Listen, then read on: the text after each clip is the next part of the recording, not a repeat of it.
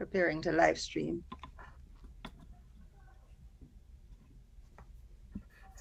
Got it. I turn my thoughts within, dear Lord, for here is where you dwell. In your kingdom, nestled in my heart, where everything is well.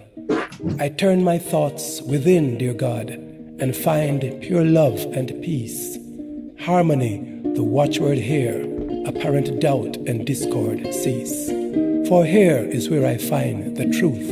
There is one, the all in all, the truth that makes me free to be. I heed its every call. I turn within, dear Lord, for there you dwell. In my heart of hearts, where all is well. Peace, and joy that His spirit expressed. I find 'tis me, dear God, and make manifest. I turn within, dear Lord, for there you dwell. In my heart of hearts, where all is well. The love, the peace, and joy that is spirit expressed. I find 'tis me, dear God, and make manifest. I turn within, dear Lord, for there you dwell. In my heart of hearts, where all is well. The love, the peace, and joy that His spirit expressed.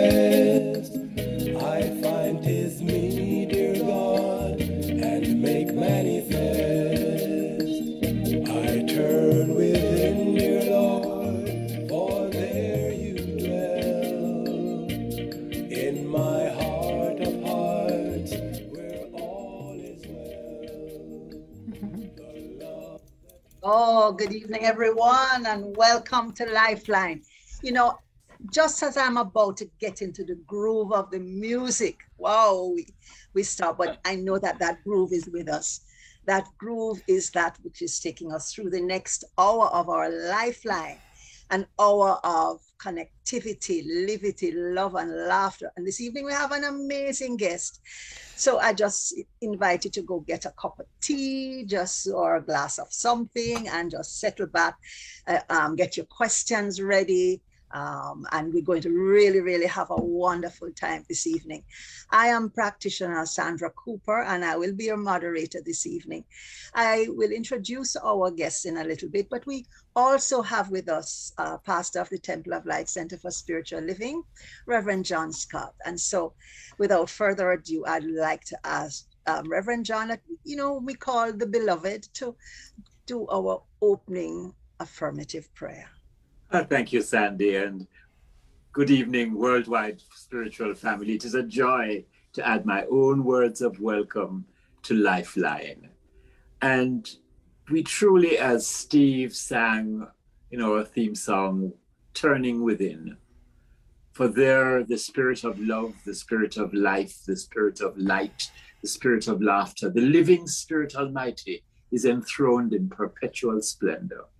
And so we come together in one accord in this conversation with our amazing guest speaker, knowing that everyone is connected with everyone else in this one mind we call God. And that infinite intelligence fills our consciousness with every idea we need to take one more step on the upward spiraling path of light and life and love and truth into greater than we have ever experienced before. So this evening's Lifeline is truly a transformative experience in which our minds are renewed and our spirits are lifted up to higher and higher octaves of pure love, pure joy, pure beingness. This is the truth which we celebrate and release to law, knowing that as it has been spoken, so it has been fulfilled. And our hearts sing a song of praise and a psalm of thanksgiving that this is already so, as together we say, And so And it so is. it is. Thank you so much, beloved. You know, friends, uh, Lifeline came into being about two years ago. This is actually our 20th episode. Yes. And we, we, we, Yay. we were birthed, so to speak, as a response to some of the challenges that popped up during the early months of um, the, the pandemic back in 2020. And we wanted to, to use this opportunity to provide spiritual tools and some strategies so that as a people, we, you know, individually and collectively, we could rise above uh, and, and consciously respond to the challenges that um, we were facing during the, the challenge of, of the pandemic period. And we also want to, one of our primary purposes is to, to, to allow our, our well, to provide, um, you know, tools as well so that we can shift from being fear-based to faith-based. And this evening we have an amazingly powerful woman. And she's going to be sharing on a topic that um, when many of us are familiar with, coming from Romans 12, chapter 2. And it says, Be transformed by the renewing of, of your mind. Now, a whole lot of stuff in that. So I would just quickly like to um, introduce our special guest this evening who is a multilingual native of the Netherlands. Now, she intended at some point in her life to be a, veter- a veterinarian. But somehow in 1982, while on a visit to the US, on an extended stay as a tourist, she was introduced to religious science. And as we can say, the rest is history. Five years later, she became a religious science minister and is currently the spiritual director of Centers for Spiritual Living in Morristown, New Jersey. She's a dynamic teacher and speaker, um, and she is a counselor and organizer of center activities. And, and get this, those activities include a ropes course and skydiving. You know, when talk about the sky is the limit, this lady invented that idea. She has facilitated workshops by um, to the Rotary clubs, Kiwanis, Al- Alcoholics Anonymous, women's centers, senior citizen centers, and the prisons. Sounds like it's up your street, Reverend John. Absolutely. She has been teaching meditation at the Morris County Correctional Facility for over 10 years. Her interests, as wide and as beautiful as, she, as, as, as she seems to be, include communing with nature, yoga and fitness, jewelry making, knitting, crafting, reading, holistic health, and the environment. A world traveler, she's been to Uzbekistan and Turkey, where she traveled with a group of Sufis, meeting Sufi sheiks and visiting ancient Sufi sites. Her most delicious experience, as her adjective, friends, not mine, was honoring the 13th century poet Rumi at his tomb in Konya, Turkey. She's very alive and feels tuned into spirit in a way that's absolutely contagious. So if you rub up against her, as we say in Jamaica, you will catch her, her joy, her happiness. her ministry is all about celebrating who we really are, which is spirit in expression. She takes the science of mind teaching very seriously. And the, these principles she lives a hundred percent you know so oh and the last thing she although she takes the science of mind seriously she takes herself very lightly so friends open your hearts and and your arms and just send a big shout out in consciousness to our special guest reverend dr frankie reverend Yes. frank Ooh, oh my goodness. oh, this this this renewing of your mind business what what are we talking about here Oh, first of all, thank you so much for inviting me. I told Sandy that um, Jamaica has been on my bucket list to visit, and she's like, "Well, make it happen." And I'm like, yeah, "She's right." So um, I'm really honored to be here today, and it's it's just kind of funny to me to to listen to my own bio because a part of me is like, really, that's me. I did all that. I am all that because I don't always feel that way, but I know, just like everybody watching this now or later, is that we are all uh, a work in progress, right? We're all evolving and we're all learning and growing and changing and opening and deepening. And sometimes that happens with experiences that aren't always that much fun. But the idea then is to keep our mind open because that's, that's how it gets renewed. So, ah, the renewing of the mind, isn't that really what science of mind is all about? is that we get to witness and observe as we go through our day to day living what we think and what we believe. I often ask myself when I'm struggling with something, well, hey, honey, what is it that you really believe? Uh, it used to be much more critical, but I've learned to to to choose to have love speak through me. So it's like, what what are you thinking about that? And do you really believe that? Is that really what wants to be demonstrated and lived, or is there maybe a new idea? So even very recently, I was journaling, which I love to do because it's one way that I become conscious and process things. And I was journaling about a complaint that I've had for a very long time. Yes, those of us who've been practicing teach this teaching for decades still catch ourselves holding old beliefs that are causing us suffering. And this was a mm. belief that causes me suffering, even though it's very subtle. And so I began to journal, and all of a sudden the words splattered on the page as if I did not write them, as if Spirit through me wrote them and said, What if you believed the opposite? Oh. You know, what mm. if you believe the opposite? The belief that I was holding was very old. It's about, uh, I don't matter.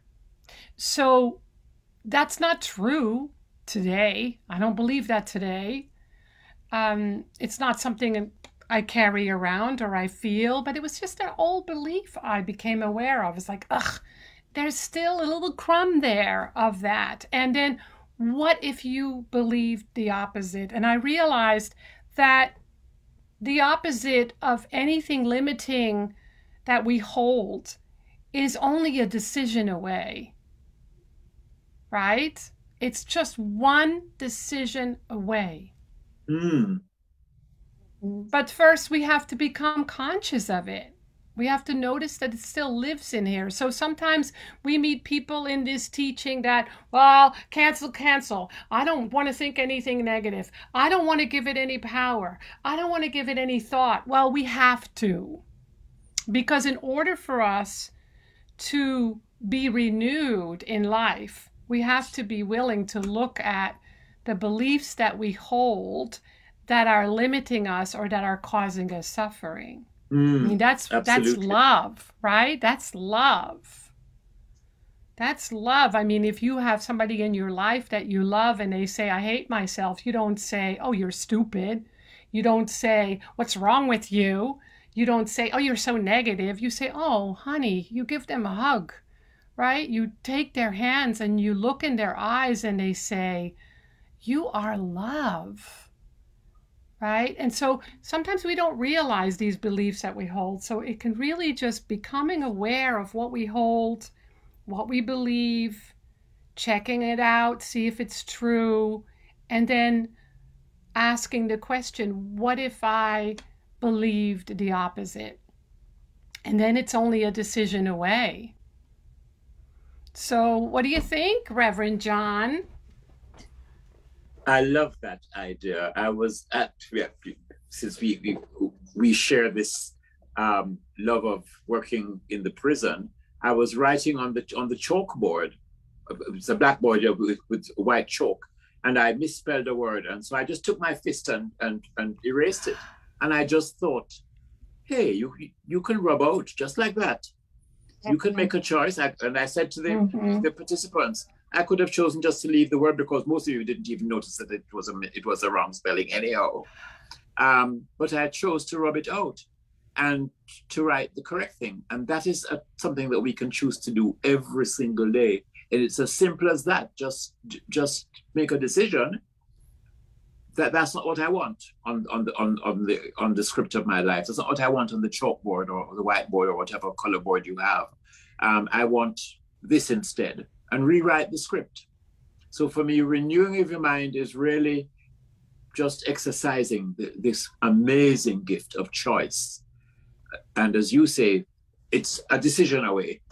I don't want this anymore. I, I refuse to be stymied by this old hang up I had about being not enough or about being clumsy.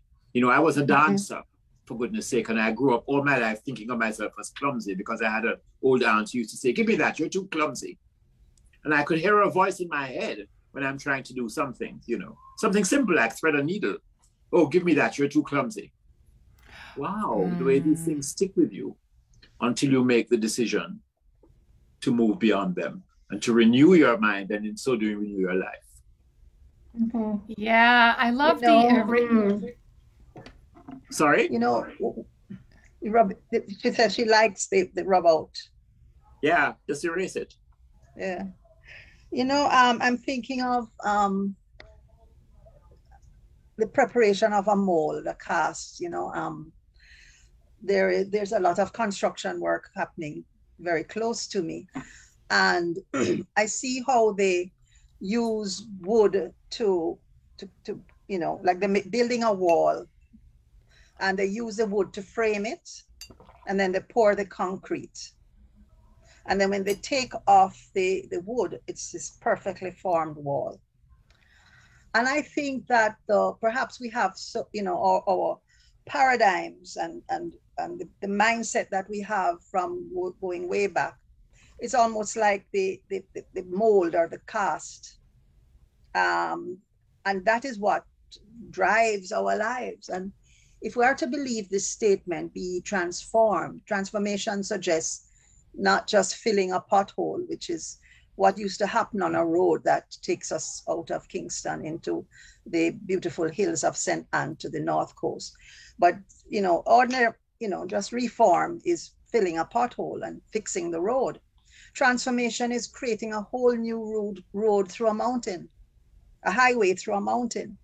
So transformation, we, you know, we, we need to, is to move from a, a, a way of being, a mold that has us going one way to some other wonderful way that is perhaps completely opposite to what we've been accustomed to all our lives. Some people say that's too hard.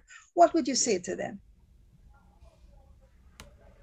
Well, you know, because I think what happens is we tend to be over identified with the pothole, right? So we're over identified with with our suffering. And yes. I think when I'm over identified with my suffering, I'm going to say things like, This is really hard. And I think it's okay, but it has to just be a moment that gives us clarity so that we can arrive then at a different choice. Uh, when mm. I have a bad day, sometimes I go, okay, so have a bad day, go sleep, go take a nap, go have some ice cream, do whatever, mm, nice. watch TV, you know. But then there has to be a moment where I say, okay, we've we were done. Now let's shift. So I think when we avoid being honest about our suffering, whether it's subtle or not so subtle, and we say, la, la, la, la, I cannot say it, I cannot think it, and we're critical towards ourselves, then it just sticks. It's like Velcro. So I think mm, it's like that. really noticing what's hard and what feels hard and just explore it a little bit and then make some different choices about it or choose to look at it in a different way? What if we can see it in a different way? I know for me, when I, I had a difficult year last year with a health issue, and I decided to look for the blessings and the gifts. And I I decided to be grateful that things weren't more difficult. And and and everything was so much easier and the doctors and the nurses and and my friends and my family there was so much love and i know it's because i was receptive i was mm-hmm. open and it didn't make it less hard really but my attention was in a was different elsewhere. place mm-hmm. yeah and so it shifted the experience so it's again, it's a decision. Mm. How do I choose to look at it? Can I see it as a gift and a blessing mm. instead of a curse or a, a, suffering? It changes everything. Well, you know, I think we get a clue um, in the verse that precedes this one um, in Romans chapter 12. Verse 1 says, But be not conformed to this world. And the reason I'm mentioning that is that I think so often we want to make the shift and the choice to think differently. But the rest of the world is saying, if you want to be beautiful, you have to wear this perfume or drive this car or live in this neighborhood, um, you know. And so, as I often say, you you know yourself to be a banana, but right now it's fashionable to be to be an orange. And the, all the advertisements are saying, you know, you have to be an orange, you have to wear orange, you have to smell like mm-hmm. lemon, and you're not. But you do everything to try and be an orange, but of course you're not. You're a banana and you end up neither being a good banana or a good orange. And so you know, we need to break out of the, con- of yes, the absolutely to what the world is trying to force us into. Mm-hmm. Yes, you know, I see that happen with our women that. a lot. You know, um, yes. there are prescribed things that women do, nonsense. You know, and and so people are a little shocked when we find you have women bus drivers, you know, in Jamaica and um, you know, women doing construction and, and really tough jobs. And people are kind of a little taken aback. But those people are not being conformed to what they the status quo is. They're broken out of that and have made a choice to be who they are and what they want to do. You know, and Reverend me, John, one of one of that, one of um, an example of that confirmation conforming is also so what we believe, what what our reality is. Um, yeah, I have a friend who shared with me an amazing idea for um, our well, Jamaica has its 60th anniversary celebrations this year. And she mm-hmm. came up with an amazing idea with some real positive statements for for t-shirts. I mean, I was blown away when I saw it, but in conversation with her, um, I got a sense of the limitation of finances. You know how am i going to do this? You know and, and so we also create the the the, the, the, the yes. How what would you say if, if, if she came to you as a um, you know requesting a practitioner service what how would you help her to just um and experience that transformation that she needs to really as we say in jamaica broke out and become successful in mm. her business? Well, I think first of all, I would do what you did, which was praise the great idea and share how amazing it is and how beautiful it is. And then I would listen to what she had to say about the her fears and I would ask questions. Because I think a lot of times when I know for me that sometimes I need to to say it out loud what's on my mind and in my heart that's that's fear based and and and once i'm talking i get to a place where i go oh wait uh uh no no we're not doing that right and so to let her speak and ask questions about the fears is a way of not only becoming aware but getting it out of her own body. And so, and then I would probably ask some questions like, well, what are some of the opposites? Like I mentioned before, right? What is what's possible? Or let's treat for some creative ideas to come through to um, make it easier on the finances, or brainstorm, or uh, because I think the wisdom is already within us. Absolutely. But in that moment, we're so focused on the what's not possible that what is possible cannot come through. So Eludes us, letting her, yeah. you know, share what that's like for her, the, the the the fears, and then explore what are some of the possibilities. Because it comes from the same mind, the imagination, the ideas, the the ruminations. It all comes from the same place. That, Mm. that's very interesting. So, in, in other words, the where the idea came from through her, that's the same source from which the whatever resources she needs to make it up um, come to pass, the resources will come from the same source. Absolutely. Gotcha. Mhm. Wow. And so, as, as the book says, feel the fear and do it anyway. hmm Exactly. You know, in its teaching, sometimes we can be so afraid of fear. Fear is a gift, it gives us information. And once we have that information, we can make some decisions. I mean, I have a lot of fears, but I'm I I've I've befriended them. Because if I don't befriend them, I curse them. And if I curse them, they're not going to go away. You I'm give them giving them power, yes. power. Yes. exactly. So it's like one of the things that I experienced when I was going through this health challenge was was thoughts of my mortality, which I'd never thought about. Uh, and I was like, oh, that's a whole different realm of thinking. Even when you're jumping out of a plane. Yeah, yeah. That I need to make peace with because it's Yeah. inevitable. Yes, we believe in the eternal life, but the body is is not going to go with that eternality. So I I that's my belief anyway. So it's like, oh, I get to explore this belief about the future and about fear. I think most of us because of COVID and the pandemic have had to face some fears that we've never had to face and we've had to mm. consider that we could get very sick and that we could die you know and so then you have a culture the the world of the, the collective consciousness the race consciousness saying everywhere on the news on the radio on tv in the papers be very afraid. Be very afraid because that's what was happening. And so then we say oh the universe is giving me a gift. It's allowing me to explore my fears and i'm going to mine them for gold because the gold is there. It's Absolutely. my growth in consciousness. It's my that- healing.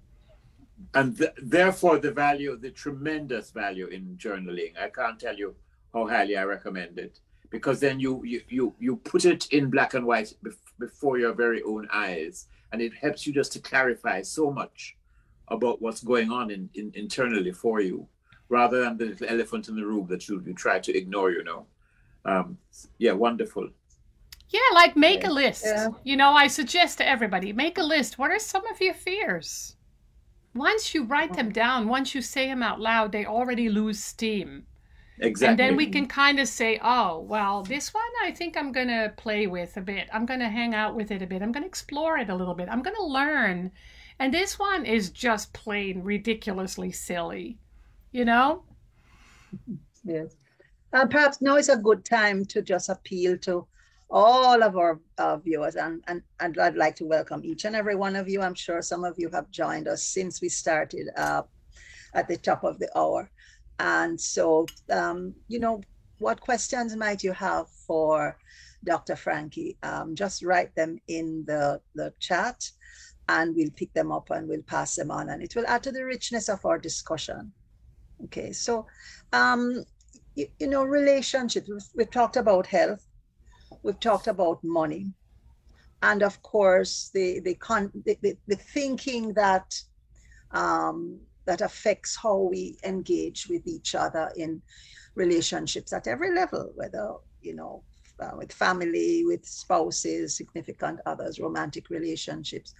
How do we, um, you know, especially when there's conflict, how can we use this this idea of transformation of the mind of choice to to heal when the other person doesn't seem to be um, caving in. And why does it have to be me? Why am i the one to have to make a difference to the relationship? Well first of all i think there are times when we really do need to walk away from a relationship if it's harming us. So i support that. But otherwise we say there's only the one, right? There's only one mind, there's only the one. And we say that love is all there is. And so relationships are fantastic mirrors to show us where we believe that and where we don't. And, and where so, we're living it and where we're not. yeah, yeah, where we're living the truth principles and where we aren't. So if we can again take the time to explore that and say you know that's not my experience. It gets us to see what it is that we believe. What do i believe about the oneness of all life? What do i believe about love? And it always comes back to my relationship with god. And my relationships reflect my relationship with myself my relationship with God, my relationship with life. So my relationships give me information. So I know that before I entered the relationship with my beloved at the moment, that I, my beloved that I'm with now for 16 years, I had a belief that the person that I would want to fall in love with would definitely not want me. And I also had a belief that who wants to be with a minister? You know, it's just annoying. Norman, my honey. Because we pray before everything. and Norman will say to me sometimes when I give him uninvited advice, he says, Well, thank you, Reverend Frankie, or he'll tell friends he gets free counseling. Put you in your oh. place. Yes. I've had to learn to. Mm. So, but they're just it's just a reflection right it's just it, yeah. the relationships are showing us what do i believe about love and so yeah. it's an again a wonderful opportunity to become more conscious to have greater clarity to make some choices to make some decisions and to heal mm-hmm.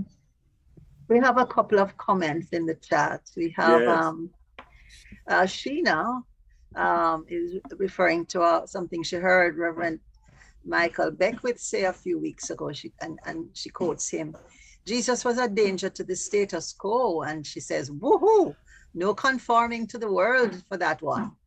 You know, yeah. Absolutely. And then so one true. of our ministers, um, Reverend Dr. Sonia Davidson, she says, resist Sonia. not. Yes, Sonia. Uh, resist not, then we could overwrite or write over the old idea, factual but untrue idea with the truth. And she goes on to say, she loves the idea of accepting fear as a gift, a friend which points the way to what I want, which is the opposite of what I fear. Yeah. Mm. Yeah, it's a nice idea. Seeing, seeing yeah, fear as a friend. Yeah. You know, yeah. Uh, I think most of most people know Elizabeth Gilbert, right? She wrote yes. Eat, Pray, Love, and she mm-hmm. wrote um, mm-hmm. I cannot remember right now some of the books, but I love her writing. And one of the things that she talks about in Big Magic, great book, by the way, is that fear doesn't get to drive the car, it gets to sit in the back seat, and it doesn't get to choose the music. Which is really about saying that fear does not get to run my life. It can be here, it can be in the back seat, it can travel with me, it can be my my companion and I will even take care of it because it's like the little kid inside, but it doesn't get to run the show. You know, that's really it, yeah, right? That's so true. Yes. Yeah. Uh, in know, Jamaica we say in Jamaica we say we run things, things don't run we. Things don't run we. I yeah. love that. Things don't yeah, you, run you can, we. You, you can borrow that one. As, as would say in Jamaica for us smalls.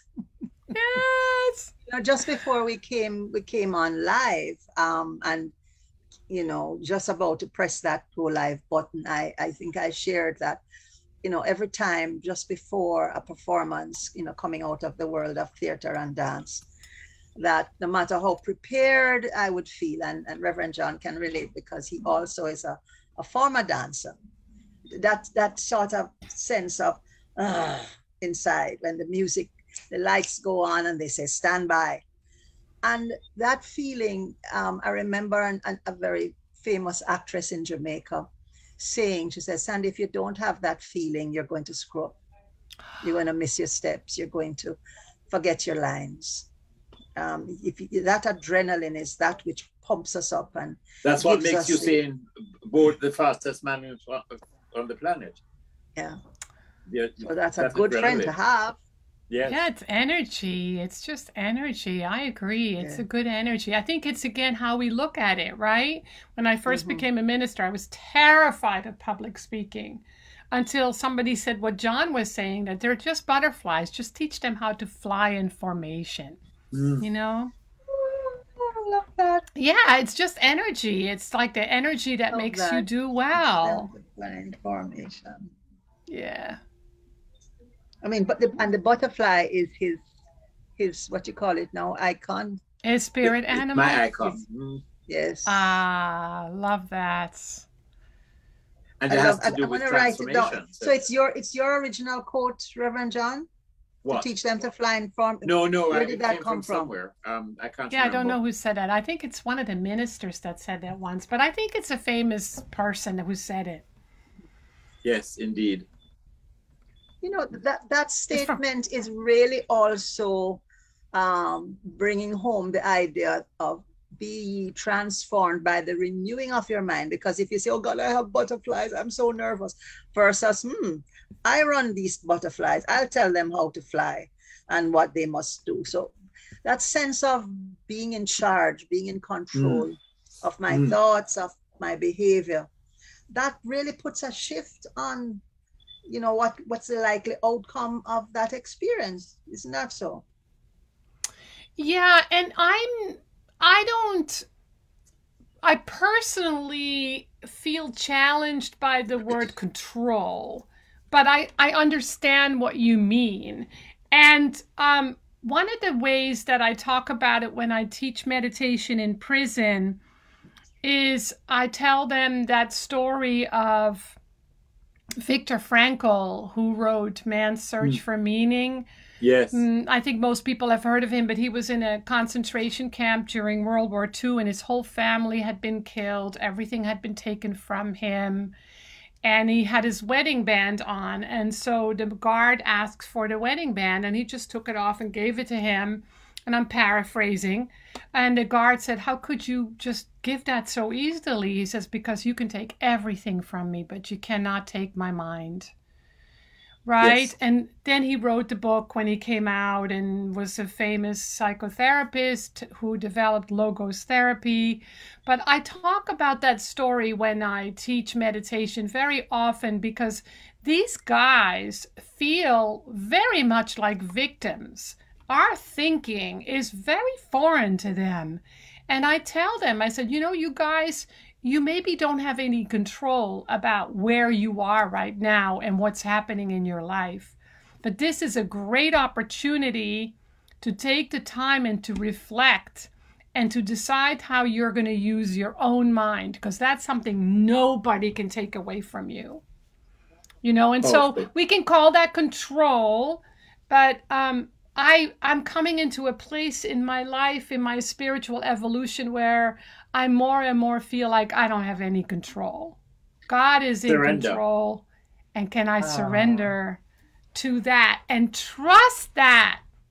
And in trusting that, I can choose how to think. I can decide what to do with what I'm experiencing and what I'm thinking and what pops up uh, as fear right? And so it's just that, again, being present and having our own awareness. Yeah. Well, then would you say that the renewal comes from changing the narrative? Uh, the, the stories that you attach to whatever story. Yeah. Story. Yeah. Yeah, I had lunch yeah. with a friend the other day and I was sharing something I experienced with her. And w- as we were talking about it, it was the experience was we had a completely different point of view about the experience we had. And it was just a reminder of how different we all are and how much freedom we have to change the story, to look at the story in a different way. Absolutely. Wow. Uh, I should go to the chat. Um, by the way, the, uh, Marcia has said that the flying formation um, quote comes from the Toastmasters. ah, yes, yes. That indeed. makes sense. Thank you, Marcia. Wonderful. Yes. Thank Yes. you. You Um, see, Reverend there's always Sonia. somebody who, who can point you in the right direction. Yes, Mhm. Rev- Reverend Sonia says, "Love, love it. Relationships are a mirror to provide the im- image of how effectively I am living that which I say, what I believe." And um, Sheena, Yes, Reverend I- Sonia. Ooh, ooh. yes, and Sheena says, "As I practice the cleansing of my mirror," and in brackets she puts consciousness. My relationships get clearer, brighter, and sweeter.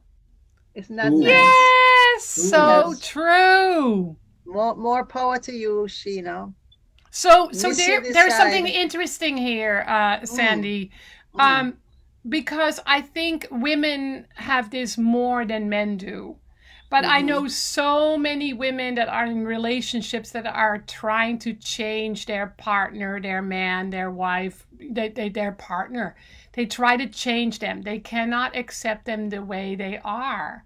And so they have this idea in their mind that if only he, she, it, we, they were different. So there's an there's an element of acceptance and just doing our own work instead of trying to change the other person. Yes. I have a, a, a joke I give to my um, soon to be wed couples, and it's about the very nervous bride. And she's at the rehearsal, she said to the, the minister, I'm so nervous. And he said, I'll tell you a little secret. When you get to the door of the church, just focus on the aisle, just be present to the, that long aisle in front of you. And I'll be at the top, you know. And then when you get up to me at the top of the aisle, focus your attention on the altar and I'll announce the first hymn and just be mindful of the first hymn. So there you go, the aisle, the altar, and the hymn. She said, Oh, yes, thank you. Thank you, Minister. Thank you. So the day of the wedding, she was nervous and she said, Oh, I'm going to practice. I'll alter him. I'll alter him. I'll alter him. Yeah. yeah. I'm Yeah. gonna Don't try remember that. alter him or her. No, but- and that can, that can be difficult, right? But it's also becoming aware that when we're in a relationship and we cannot accept a person exactly the way we are they are, that we end up suffering. And it's again a reflection of how we cannot accept ourselves the way we are. And so I work on this all the time because I have plenty of judgments and complaints in my mind. I don't speak them anymore because I know it's not about him, it's about me. You know, it's even little things like comb your hair before we go out. I, I remember one time, the one time my, my mother was really furious with my father. She said, Darling, if I were you, I wouldn't wear that tie with that shirt. And he said, Well, you're not me and you don't wear ties and shirts. And she was furious. But he was right. Oh God. Yeah. Yeah. He's right. Yes, he's right. Yeah. Um, Reverend Sonia has a question. She's asking, what do you say to someone who is on his or her way out of this incarnation, but is terrified of the unknown? Oh. Feel the fear, but do it anyway. Yeah, you know, um, I have a um, meditation teacher. He's a he's a Sufi sheikh, and he says that um, at the end of life, it's the ego that says, "No, I don't want to go. I don't want to go. I don't want to go." It's the spirit that wants to surrender and can let go, but the ego is like, "No, no, no." And so I think that first thing is really important is just being present with them and making sure Mhm. that we're not attached to their experience. Um, that we allow them to have that experience because allowing them to have that experience and just being present within our own heart can create a space of of more ease and more lightness so we can invite them to breathe with us or we can invite them to take a deep breath and i think it's important to acknowledge the fear and to talk about it if they can. And then um, remind them that it's okay to let go that it's safe that they're ready that there's that there's uh, a wonderful opportunity to just to just embrace letting go and trusting if they have faith if they're religious if they're spiritual to trust that everything that they've learned in their lives and everything that they've believed is true now I don't know if that helps, but I think it's very mm-hmm. common that people are very afraid. I can I often see that when people are dying and they're not conscious that the reason they're taking so much time is because their soul is working something out. And mm-hmm. and if we can trust that, uh, then we can be of assistance quietly and in consciousness. Mm-hmm. So if you have, if you, she has another question about it, if I didn't answer it, um, she can let me know. Okay, um, and then of course Steve, um, there's a, a, a comment that fear is the divine alchemist in disguise. Isn't that something? Oh, that's beautiful, Steve. I'm writing that down. The divine Fear alchemist. is the divine alchemist in disguise. In disguise. I mm. love that. You know, yeah, we, you, you spoke very strongly about choice. But if we were to, to, to have a menu of things to do, what could I do? What could any of us do um, to, to sort of accelerate our own personal transformation?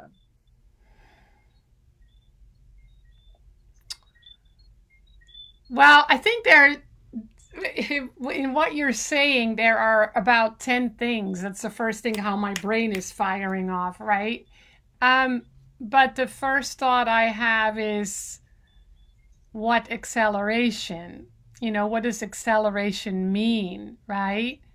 And does it really exist? So I think mostly it is about you know, I love the story about Michelangelo when he was sculpting David, is that David was already into sculpture. He was just chipping away the parts that didn't belong, right?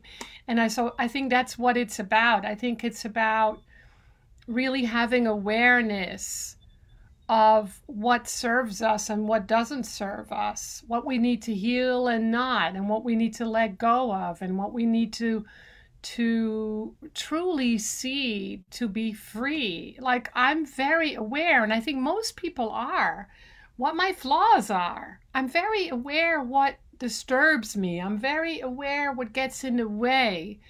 Um, and I think most of us are. And I, I, I agree with John. Journaling can be very helpful with that, where we just journal and just say, you know, what breaks my heart? What makes my heart ache? For me at the moment, I'm experiencing a lot of grief around what's happening in the world and what we've done to our beautiful planet. And I'm not avoiding it, I'm not ignoring it, I'm not denying it. I'm diving in. I'm comfortable with grief because I think grief is a divine alchemist in disguise as well. and so, you know, it's just like, oh, that's so interesting. And um, I feel a lot of sadness, but I I'm trusting that. So it's to trust the experiences that we're having and not judging them as good or bad, because I because on the other side of grief is love, and they're both there. It's like when you lose a person, you feel grief because you loved. The reason I feel grief for the planet is because I love it so much and I love humanity. So I feel like there is gold to be mined in this momentary experience in my heart that's that then will naturally accelerate my growth. It will naturally evolve me. So acceleration and evolution is the icing on the cake for the work that we're doing the inner work that we're doing.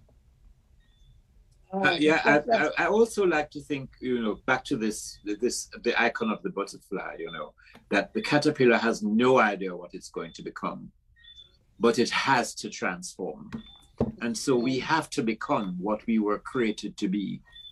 Um, we have, it may take this lifetime or it may take however many millennia, but we are becoming what the creator meant us to be. Mm-hmm. Yes, I, I, love the first thing you said about awareness.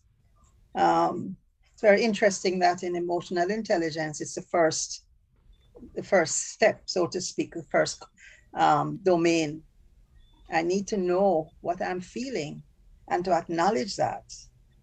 And then I can make a choice about what I do with those mm-hmm. feelings. Mm-hmm. You know?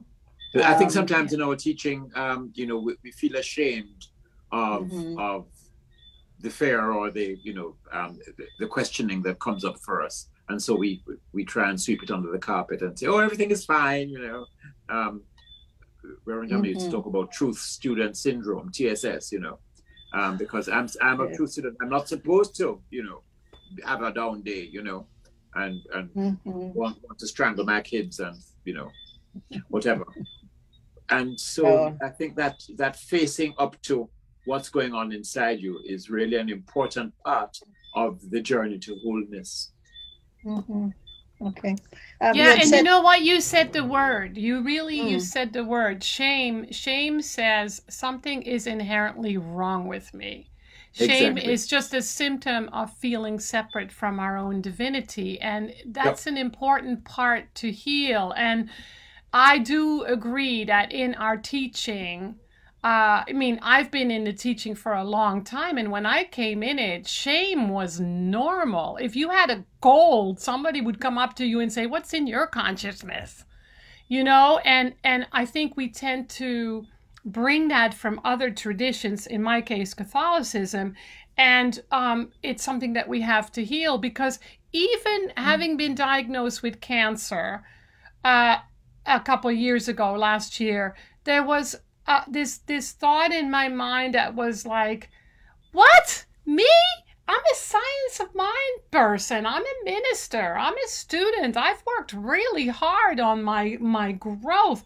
What's wrong with my consciousness?" And I had to quickly let that go because I realized it created a whole other realm of suffering that wasn't necessary. So I decided to befriend the diagnosis and to ask myself, wow. what is cancerous in my thinking that I need to heal and let go of? What is cancerous in my environment, in my world? And so I've had to let go of relationships, habits, thoughts, thought patterns, Wonderful. especially the ones that were self critical because that's cancerous. Mm. Yes, right? but that so, eats away Wow. Yes, that, that's that's powerful. You know, so I'm I'm really hearing that we we have to consciously uh, or be present to maybe both external and internal factors that are perhaps um, stopping us from allowing that the transformation to take place, whether it is some somebody, some physical person, or you know something that we're feeling inside. And uh, we're kind of getting to the top of of the hour. And you know i it's don't know where the time far, goes when we do these goes. things. So we must perhaps have one more um, question. Steve is asking please expand shame. Please expand on shame feeling separate from my own divinity. Just yeah i mean Right? Shame is like something is wrong with me. Something in me is inherently broken. That's shame because it's different from guilt. Guilt is, oh, I've done something wrong and I need to do something about it. Shame is about our being nature.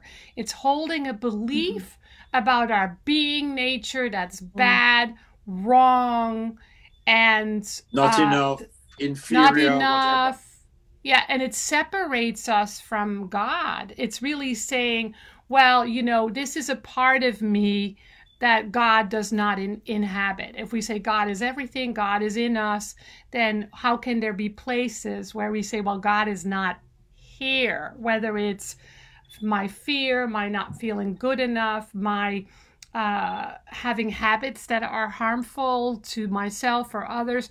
The way that we heal that is to just remember it's just uh, a definition of separation from God. I mean, look at Adam and Eve. Adam and Eve were happily nakedly dancing in the garden until somebody made them aware that they were naked and they went, ah! Right? And so right? And so it's it's that feeling of, oh, nobody can know about this.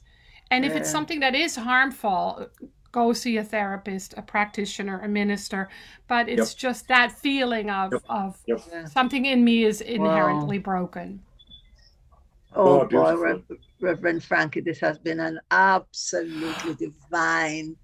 I mean, can we do another hour, please? Yes, absolutely. I'm in part oh.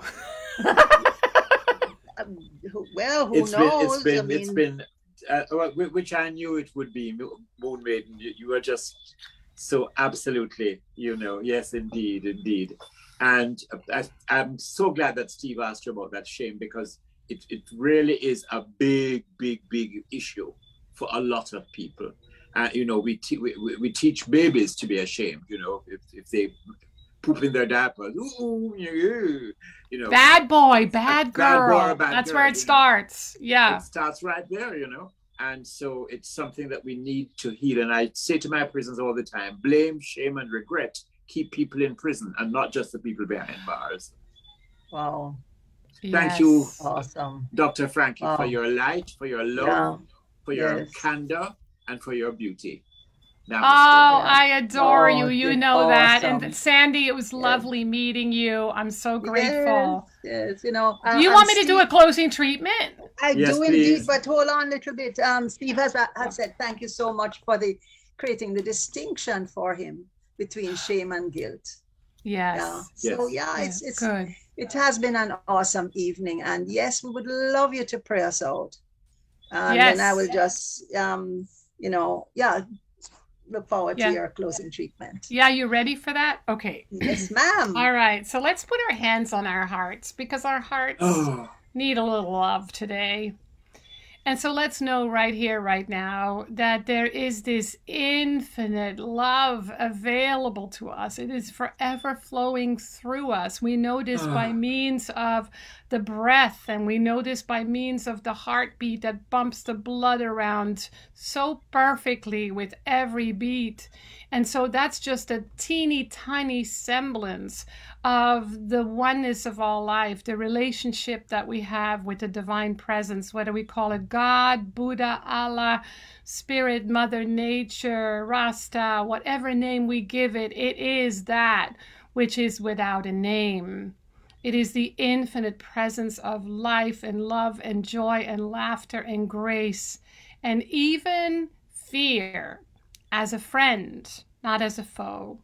And so tonight, we simply open our heart, our mind, our body, and our soul to this divine flow, trusting it more than we did an hour ago, surrendering to it more effortlessly and more easily than in our last breath allowing it to have its way with us, allowing it to sweep through our very being away the crumbs of shame, fear, guilt, worry, anxiety, sense of limitation or lack. We just let it sweep away and make it grist for the mill, make it compost for our developing consciousness because truly, truly, truly, we can trust all of our being, all of life, all of our experiences as ways to awaken to the divine presence within, allowing healing to happen, which is really just about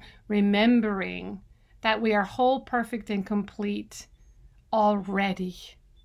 And so life is given to us to not just remember this, but to live it. And for that, we are deeply grateful as well as for this wonderful session for for CSL Jamaica, for Reverend John, for Sandy, all the practitioners and ministers, all the members and friends, all who are a witness tonight, whether it's today or tomorrow or the day after, because it is just a reminder of the oneness of all life and how that is ever supporting us. And so it is. And so it beautifully is. Wow. oh wow! I mean, I have to. I have to. Wow, you. Reverend John, you, I, I, I, see a hand up. Was it before or or, or it's, it's just? I don't um, know. That's it's, your hand up. Is it me? No, no, no. I, I don't know how that happens. Wow. So, you know, I'm so grateful for friends who have joined us on, on Facebook Live and for each and every one of you who sort of just added to the consciousness of this experience. Thank you so much for being a part of this. Thank you to Steve, to Vance for being our, our technical support. And of course, friends, if you feel moved to support our ministry, do visit our donate page at donate.templeoflight.com uh, csl.org, and it will mm. sort of share with you how you can contribute to making us, um, enabling us to continue to be a beacon of light to the world. Until next time, next next month for for our um, our new um, Lifeline series, we'll let you know what that will be as as it gets a little closer. We thank you all for being a part of this. Reverend Dr. Frankie, thank you, and Reverend John and everyone. Until next time, love you, bless you, and see you all soon again. Bye bye. thank you. Bye. Namaste. Bye. Namaste. Oh. Uh, excellent. Good. Yeah. Wow.